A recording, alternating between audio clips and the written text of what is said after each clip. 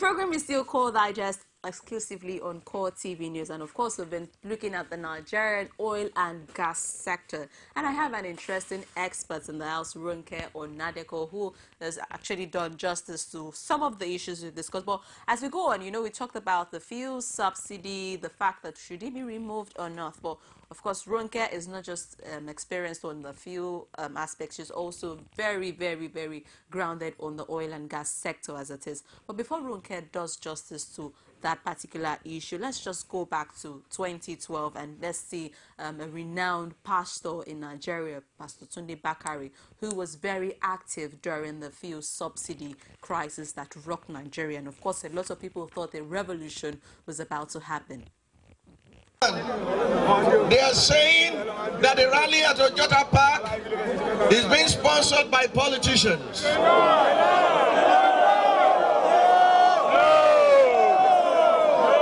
What do you say to that? But let me make this plain. Neither Union, Nigeria Labour Congress, or TUC Trade Union Congress is behind the Ojota rally. Not to talk of any politician or political party. The same patriotic spirit that led the same Nigeria group to mark the streets of Abuja and Lagos when Jonathan was being prevented from performing the constitutional duty of an acting president has motivated the same Nigerian group and its allies to put this peaceful, peaceful rally together. We did not collect money from Jonathan then, and we are not being sponsored by any politician now. Today, the world is a victim of propaganda because of people who are not intellectually competent. More than anything, Nigeria needs effective citizens, competent to do their own thinking. Let me make it clear once again. This rally at the Ganifa Freedom Square is a civil protest organized by the Save Nigeria Group and its allies. This is not a political campaign rally.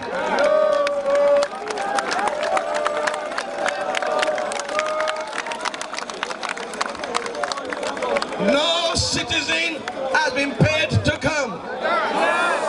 They have come on their own. Some walking several miles every day to get here. Did we pay you? Also, no musician,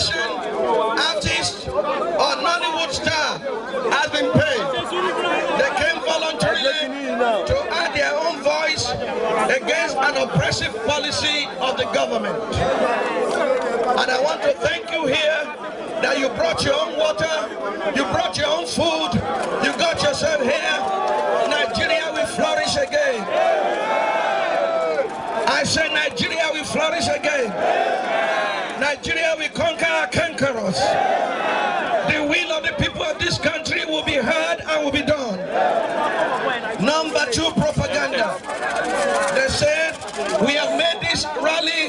A personal thing because we are cursing the president and we are personalizing the issues.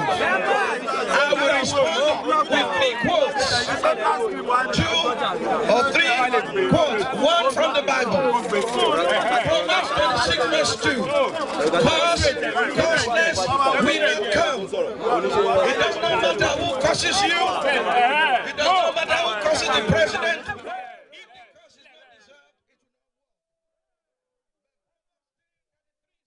Ronke, that was the leader of Save Nigeria Group and of course a pastor that is well respected in Nigeria.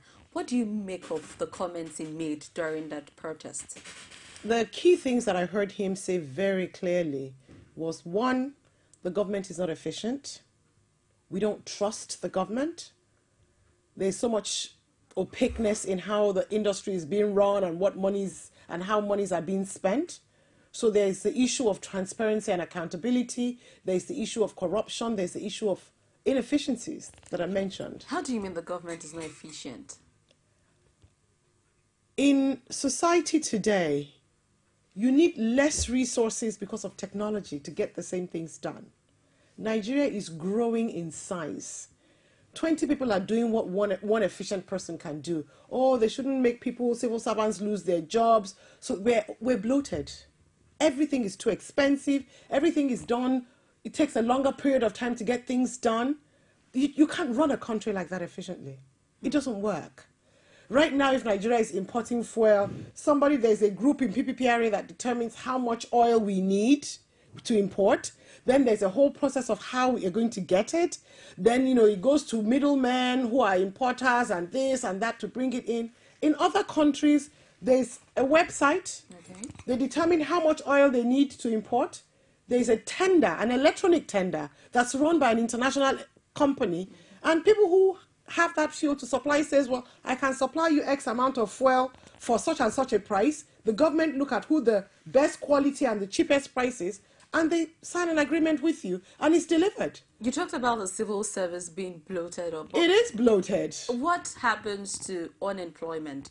Won't that give, um, increase the, the cases of unemployment in the country? No, it will not. On the contrary, it would spoil employment because all the money we're putting towards subsidy it would be put into other industries like sorting out our power problems. If power problems are sorted out today, everybody is ready to set up a small business.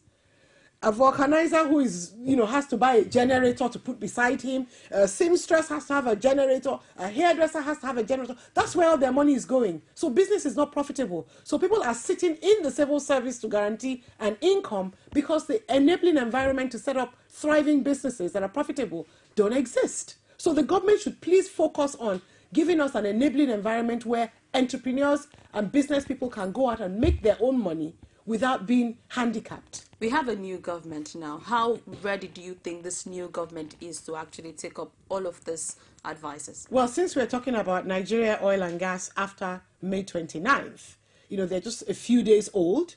We've heard some of the things that they say are important to them. We're waiting to see the crop of ministers that are going to help the new president deliver his promises to Nigeria. That would be a start for us to see how serious they are.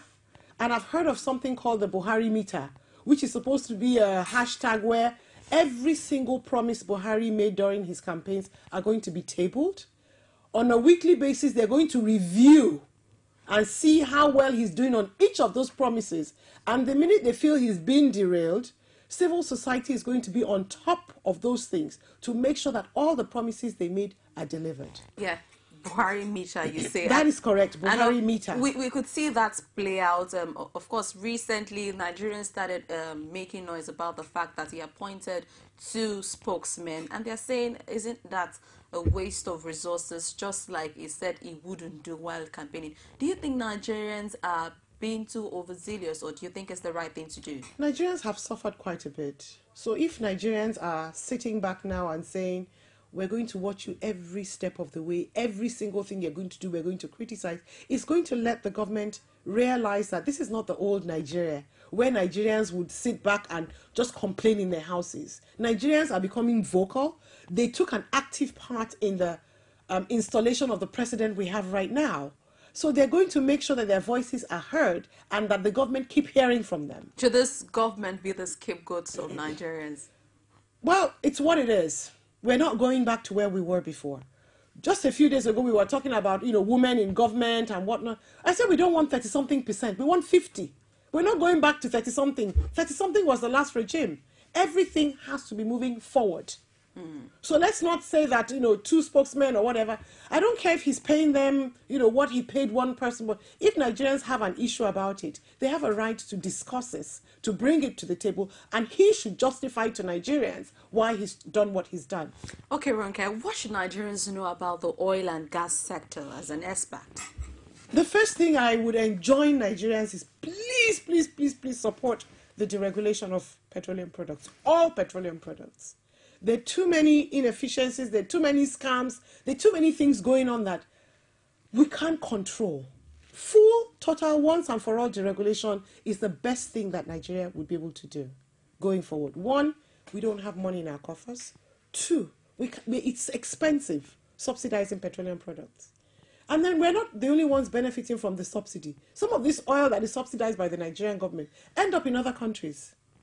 All the other countries around us that are landlocked are benefiting from it. So we're supporting petroleum, the petroleum industry in other countries, and this is supposed to be Nigeria's benefit. So let's stop it. Let's all buy fuel at whatever the cost is, and then hold the government responsible for the money that they've saved.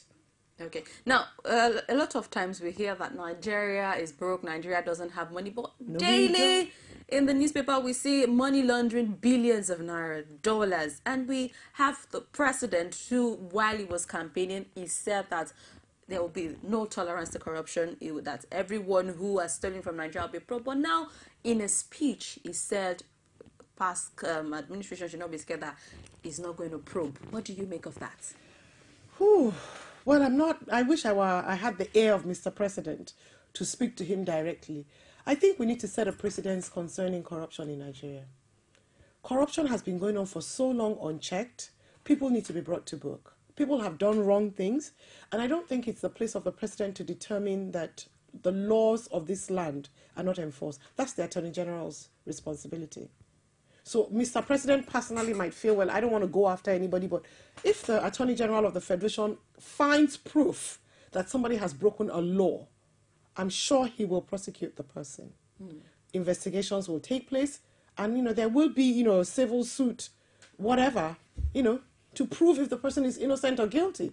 There might be people who we think today are guilty, and if investigations are forthcoming, you know, they find out that they're not. But maybe they will find some people guilty. And if those people are found guilty, I think they should be brought to book and their assets should be confiscated and brought back into the coffers of the country. Because that's Nigeria. If they've stolen, it belongs to Nigerians. Okay. Uh, for, for those that stole, they actually the public If the alleged to be people, People. who that we think stole, because nobody has proven, you know, anything for now. So until they're tried, investigated, tried, and found guilty, we don't have any proof that anybody has stolen to date. okay. Now there's also an economic stealer that a lot of Nigerians are actually aware about, which is the oil bunkering.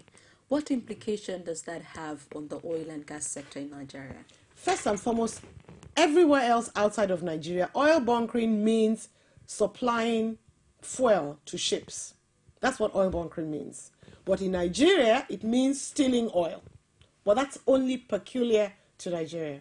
So I just wanted to put that out because if you go to Europe or you go to other African countries and you talk of bunkering, mm-hmm. it's legal and it's a business. Alright. But in Nigeria, what we call bunkering is illegal and it's oil theft. As at 2013, I think that was the last time I had proper statistics. The quantity of oil that was stolen in Nigeria on a daily basis is equivalent to what Ghana produces in its entirety in oil. That's how much oil is stolen. Wow. Yes, and it's a lot. It's stolen to be refined. There are local refineries. People have, you know, locally made refineries where they refine, which is a waste because you lose almost 80% of the value of the crude oil. But because the 20% they gain is free of charge, it still makes sense for such people. On the other hand, there's the theft that goes into barges are taken to big vessels and are discharged in there, and then the bigger vessels are selling this oil in the international market. There's that going on as well. And um, information has it that this is been it's been a trade that because it had gone unchecked, it started very small. Because it was unchecked, it grew and grew till it's now almost 50-50. Half of what we produce gets stolen, half gets into the government coffers. Hmm. So if we could even stop that, we would double the revenue we're getting from oil and gas. Hmm. Stop that. How could the government really stop it? There are different ways of doing this. Oil and gas pipelines and facilities can be monitored via satellite. So there has to be political will. The government has to be very interested in doing something about it. They have to deploy honest means to doing it. There have been stories of people who have been giving contracts to watch pipelines and watch oil facilities. These people are not tenured, they're not professionals, they have no expertise. It's been done on an ad hoc political basis. So we need to stop all of that and work in a system that's consistent and professional. OPC monitoring oil pipelines. How justified? Well, we that happened very close to the time of election, so there's a lot of belief that it was um, politically motivated to inspire followership in the southwest of Nigeria towards the voting and the elections that just took place. However, this is a new government, this is a new dispensation, this is a period of change. I think every single one of those contracts need to be revisited. The government need to have a criteria of who should be eligible to do such a thing, what qualifications they should have, and what the end result is. We don't want to hear that somebody got a $3 billion contract to watch pipelines and the theft is not reducing, if not, it's increasing. Mm-hmm. We're still losing oil. That person's contract should be cancelled. How really sincere do you think the Nigerian government is to um, combating the challenges um, facing the oil and gas sector? Because um, one would remember at a time where the petroleum minister was alleged of uh, uh, fraudulent acts pertaining to the oil sector, but it just happened that nothing was really, there was not um, justified conclusion to the old matter. So how sincere is the Nigerian well, government? I mean, there was a government that ended on the 29th of May. There is a new government started on the 29th of May. You know, they're just three or four days old. So I think Nigerians should hold their breath. Let's wait till the National Assembly is um, instituted, I think, in a few days' time. And, you know, we're going to evolve, but Nigerians need to be watchful. We need to pay active participation in governance. We cannot sit in our homes on our iPads and on our phones and send BB messages that they should be doing this. We need to get out there. If there is a rally, leave your house and go and join the rally. Let your voice be heard. If you have a house of rep representing your area, know who the person is. Find out what the person's contact details are. If you're hearing things or sensing things, reach out to your house of rep person, reach out to the senator in, you know, from your um, local government or from your area. These are the things Nigerians should start doing, and I'm seeing more and more of it. Okay. So I think there'll be more accountability in this government. Okay, so Nigerians should um, more action and talk more, less. Well, talk, but please let's see the action. All right, thank you, Ronke. Let's go on this quick short break, and we'll be right back. Stay tuned, please. Every day of the week will bring to you divergent views on news making the headline. If people who commit crime are being rewarded with national honors, with national appointments, then where are we going in this country? It's not about who, whether it was Jonathan or whether you are going to have a Buhari.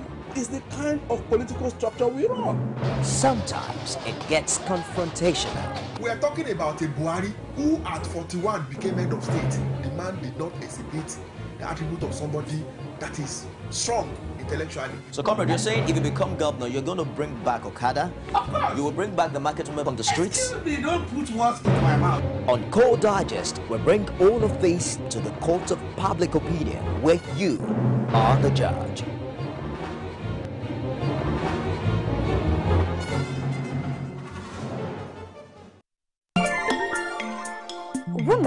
Share the most amazing thoughts on national issues. And they do it passionately. For most men that are educated, that are exposed, would not will see nothing to it. The population and the, the level of poverty made me cry. No infrastructural development whatsoever. And you tell me Lagos is working? That was an accident. And it was a one-off thing. Other than that, there has never been any situation in Nigeria where a Nigerian attacked anybody just because of where they came from. Sharing the adorable word of women in politics every week, only on Core TV News. Every day, every hour, and every minute, news break in Nigeria. Things happen so fast, it's most times difficult to track and comprehend them. But that's what we do right here on Digi360. 2015, would you want to come back again? It's like asking Jesus Christ if he knew he was going to die, will you, come, will you want to come back as the savior of the world again? We do not just help you track the stories, we break them down, explore all the angles, analyze the issues so that you can fully comprehend the stories and use them to make the right decisions.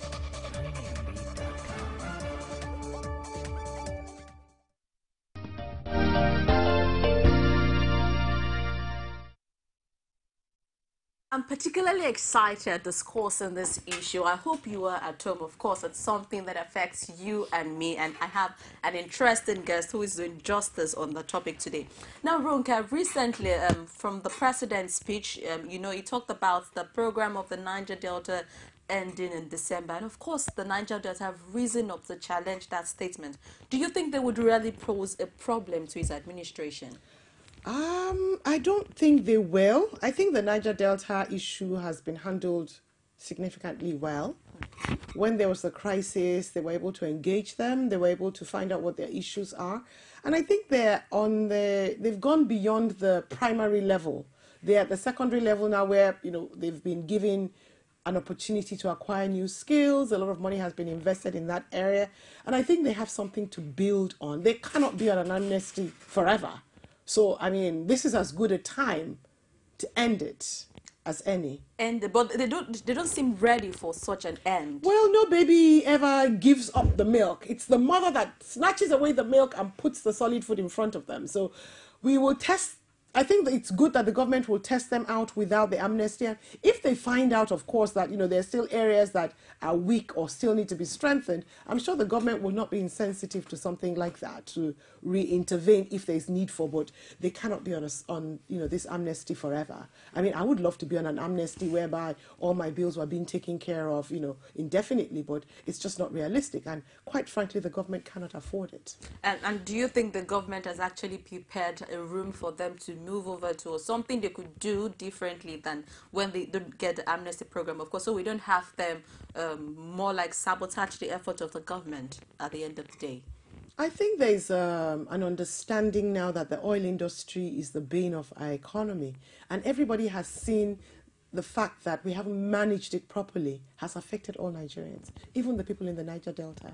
So we need to focus on infrastructure development using the funds from the oil industry and the government coffers to support infrastructure, good roads, rail system, electricity, primary health care, primary, secondary, tertiary education. Those are the things that the government needs to be putting money to across the entire country. Now, the PIB, you said it dragged through the last administration. Yes, it did. What are your expectations of the Buhari-led administration on the PIB?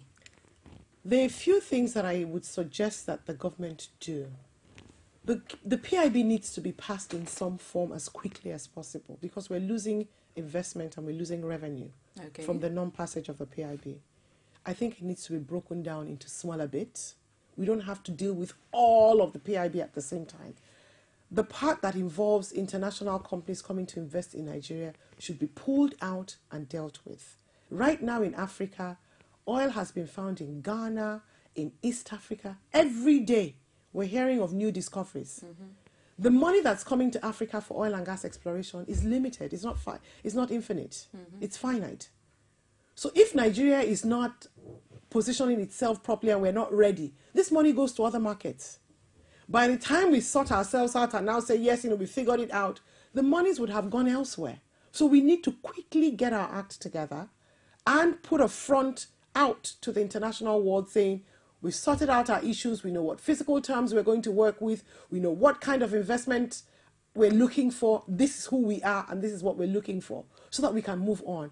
And then the other issues like who gets what and how much of what goes to the Niger Delta and to the people who own the land, those things can be sorted out in smaller legislative um, instruments. Okay. Ronke, you sound very passionate about PIB. I am passionate about and, the PIB. And uh, the question that beats me is, do you really think the handlers of this bill are actually the one dragging the bill? Because if, as according to you, it's going to actually bring more benefit to the country, why has it not been passed for so long? Too many stakeholders. Okay. They're not all on the same playing, or they're not on a level playing field. And you know, we have some people who are troublemakers in every sector. Some people who, no matter how perfect the bill looks, are still not going to be satisfied. We cannot wait till everybody is happy to have this move on. So, what we think should be done in the industry is certain aspects of the PIB need to be expunged for now. Let's roll with those things that are critical, and then we can deal with the other things later. Okay. Now, what are the prospects of the oil and gas sector in this new administration? everything looks very rosy for me at the moment. Wow. But that's with the fact that I believe this government has a mind more or less to carry all Nigerians along, those that voted for them and those that didn't. Mm-hmm. It's been said more than once that he's for all Nigerians and he's for nobody. Well, a comment Which actually generated a lot of a lot of controversy. And i mean i think that's good because that's a government of uh, an inclusive government. Okay. we're not leaving anybody behind. We're ready to talk to people from the other party. We're ready to work with them. If you have a good idea bring it put it on the table. Let's talk about it and let's move forward. It's all about nigeria. We've gone through the election process. That's behind us now so what we're thinking of now is moving forward carrying as many people along as possible and building a stronger and better nigeria. Carrying people along how would how is he expected to carry people along in the oil and gas sector to make it better than it already is? We need to be a bit more transparent. Okay. Nigeria is such a large country, 170 million people. If you went on the street today and you spoke with different people, maybe you'd find 10% of Nigerians that really understand what the oil and gas industry means to them and on a personal level. Hmm. I'll give you an example of that. okay Nigerians do not understand how their children's education have to do with oil and gas. Oil and gas is not a sexy topic. It's not a topic. If we were talking about Beyonce or fashion in Nigeria, a lot more people would tune in today to listen to what's going on and what's happening and how can I key into it. But oil and gas, people just think it's for some specialists and they will sort it out because they don't understand that every single thing that happens to you as a Nigerian is based on oil and gas, how much the government is producing, how much the oil prices are internationally, how much of the money we are making is ending up in the coffers and being used to develop Nigeria. So are you saying ignorance on the part of nigeria is actually a big Nigerians are not aware. They need to take more of an interest in their source of income. It's just like if you're a worker and somebody asked you and said, How much do you earn? And you're like, "Mm, I don't really know how much I earn. That's impossible. We're Nigerians. What we earn is from what we sell. From what when we sell oil, that's what we earn. So that's our salary. So all of us should have our eyes on it. When we produce, we should know how much we produce. Mm-hmm. When they sell, we should know at what price they sold. How much is it costing us to manage the industry? Mm. So Nigerians shouldn't sit back and let a few people manage their salary. Would you let your child or an incompetent person manage your salary on a monthly basis? You won't. So why are we so laid back about the source of income for the country? okay so what are your expectations from nigerians now My my expectations from Nigerians are they need to focus a lot on what the government is doing. Who gets appointed as the Minister of Petroleum? okay Who becomes the managing director of NNPC? Are they going to deregulate? How soon are they going to deregulate? And if they're not going to deregulate, what are they going to do differently from what they're doing now? Because what's being done right now is not working. how can nigeria influence this appointment really Well, I voted. okay I had to ride a bicycle from one part of Lagos to another part of Lagos because there was no vehicular movement. You rode the Just- bicycle? I rode a bicycle to go and vote. wow And we were there from 11 o'clock in the morning till 10.30 p.m. at night. I couldn't even wait to, you know, to, mm. for the counting. Because when I rode my bicycle in the afternoon, it was broad daylight. When I was going home at night, there was no light. I didn't take a light on my bicycle. I had to risk my life. So now I'm interested in every single thing to make sure that the risk I put myself through, the stress I put myself through, doesn't go to waste. do you foresee buhari-led administration as a listening government actually we are going to make them listen. This is not whether they are listening people or not listening people. Nigerians should make them listen. We should make so much noise and drown them to the point whereby they have no choice but to listen to Nigerians. wow This is our future. This is the future of our children. So oil is not something that is for experts or for um, the politicians or for the government people. It's for every single Nigerian. So those 444,000 barrels a day that goes to the refinery that's not working, we should challenge it. We need to start challenging the things the government are doing. The poli- if the government tell us now that they're not going to deregulate, they have to come up with very, very valid reasons why they're not deregulating, how long they think they can continue for this way, and what they're going to do differently. Hmm. Some have actually predicted that um, Nigerians really cannot resuscitate the refineries. Some have actually said that, okay, um, we actually have to bank on importing the product. And others are the opinion that if the whole system is going to shut down, it should shut down, but the refineries should be resuscitated, and the government is actually in the middle. What is it that the government must do? I think the government should give up the dreams of the past where governments were involved in refining. It's not government's business to do any business as commercial. Government's business is regulation of industries, reforms, policy. They're not businessmen. They should stop running businesses. They don't run businesses well. When they had Nitel, it never worked. They've privatized that industry. They've given it to businessmen to run. Everybody, my vulcanizer has a phone. My meat seller has a phone. It's working. Let's give up the things we're not good at and give it to people who can handle it. So I keep hearing stories of the fact that maybe the government are still thinking they need to refurbish the refineries. There is no need for them to refurbish the refineries. You want to move on, sell the refineries exactly as they are. If you find buyers, fantastic. If you don't find buyers, then let go of it. Okay, thank you very much, Ronke. Final words from you as a roundup on the, on the show with you today. I'm hoping that um, the government going forward are going to pay attention to three things very urgently. The first one is removal of the fuel subsidy and full deregulation of the oil and gas sector. Second thing is that the B PIB needs to be passed like yesterday. The last thing is the development and the enabling environment for a thriving downstream industry, refineries to be built, petroleum products to be produced, Nigeria should be a net exporter of petroleum products. We should not be importing petroleum products in Nigeria. But unfortunately, it takes time, it takes strategy, it takes political will to have this done. We hope that the government will focus on these things and we will be there as Nigerians, keeping a watch on what they're doing going forward. Thank you very much. Um, of course, it's five or six days into the new administration, and let's hope the government listens strongly to Ronke's suggestions, which he strongly hold on to. And of course, Ronke, I see you at the forefront of pushing this PIB to being passed in the nearest future. I will do everything that's humanly possible to make Nigerians aware. I tweet, I blog, I talk about oil and gas, and I think the government will start listening when more people start paying attention. All right. Thank you very much. That was Ronke Onadeko on the show today, an oil and gas expert. It was really a delight having her on the show. But you know what? Do well to join me after this break um, as, we, as I round off the program alone. But of course, it's bye bye now for Ronke. Thank you once again, Ronke. Thank you very much for Have having me on the show. Have a beautiful rest of the day. Thank you.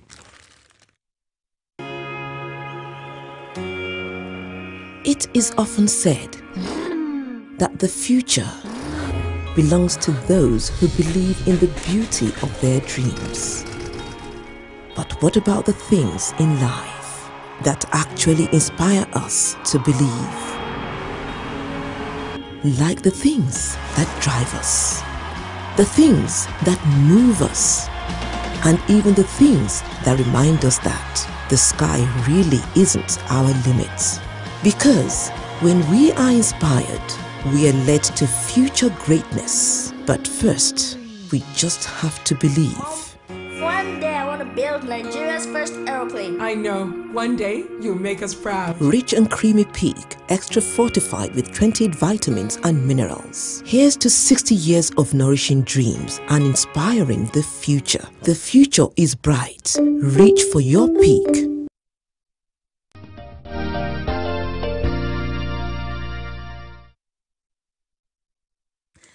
I really want to appreciate you for staying this long on the course of the program. I'm I'm hopeful that you enjoyed every bit of what we discussed. And like my guest on the show said, that it's good that Nigerians are a lot more interested in this topic because it's not fashion, because it's not food, because it's not water. It doesn't mean that it uh, really really affects every bit of our life and we should start seeing it that way. And of course Ronke has said that the PIB really needs to be fast. The sector has to be deregulated for we as Nigerians to benefit from this uh, money-making venture that we are looking away from actually. And of course she said we need to really engage the government. So it's a call to all Nigerians not to sit and fold their hands but also be active in the governance of the country. Of course be very active active, participate in what the government has for the country. And with time, the country, the, the, actually the government will actually see that there is a need for them to look into the sector, which is faster, fa fast um, dwindling, like a, a, lot of reports will show us. But as as an, as a Nigerian, actually, I hope you are a bit charged on the decisions you should take and how informed you are on this particular sector. I particularly um, was elated with all of what we discussed today, and of course, as we discussed Nigeria, oil and gas sector beyond May 29. So it's beyond, okay, we have a new government now, you know, let's start talking about this issue. Let's start looking at how differently it could be from previous administration. And you know what, with time we would see that the country is a better place. And you know, like the president's speech, that we have an opportunity now. Let's take it. So the oil and gas sector presents a lot of prospects. It's an opportunity. Let's take it.